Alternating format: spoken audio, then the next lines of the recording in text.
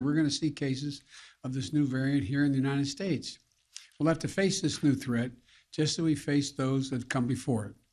Today, there are three messages about the new variant that I want the American people to hear. First, this variant is a cause for concern, not a cause for panic. We have the best vaccine in the world, the best medicines, the best scientists, and we're learning more every single day. And we'll fight this variant with scientific and, and knowledgeable actions and speed, not chaos and confusion. we have more tools today to fight the variant than we've ever had before, from vaccines to boosters to vaccines for children, five years and older, and much more. A year ago, America was floundering against the first variant of COVID. We beat that variant significantly, and then we got hit by a far more powerful threat, the Delta variant. But we took action, and now we're seeing deaths from Delta come down. We'll fight the, you know, and look, we're, we're going to fight and beat this new variant as well. We're learning more about this new variant every single day. And as we learn more, we're going to share that information with the American people candidly and promptly. Second, the best protection, I know you're tired of hearing me say this, the best protection against this new variant or any of the, of the variants out there, the ones we've been dealing with already, is getting fully vaccinated and getting a booster shot. Most Americans are fully vaccinated, but not yet boosted.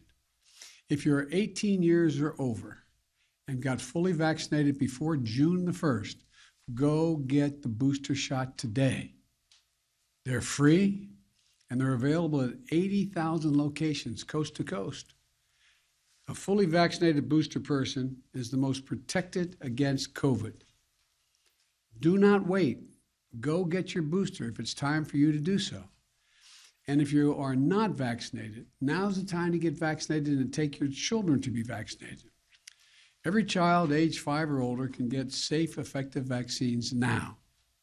While it will be a few weeks before we know everything we need to know about how strongly the existing vaccines protect against the new variant, Dr. Fauci is with me today, of our medical team, and uh, believe that the vaccines will continue to provide a degree of protection against severe disease.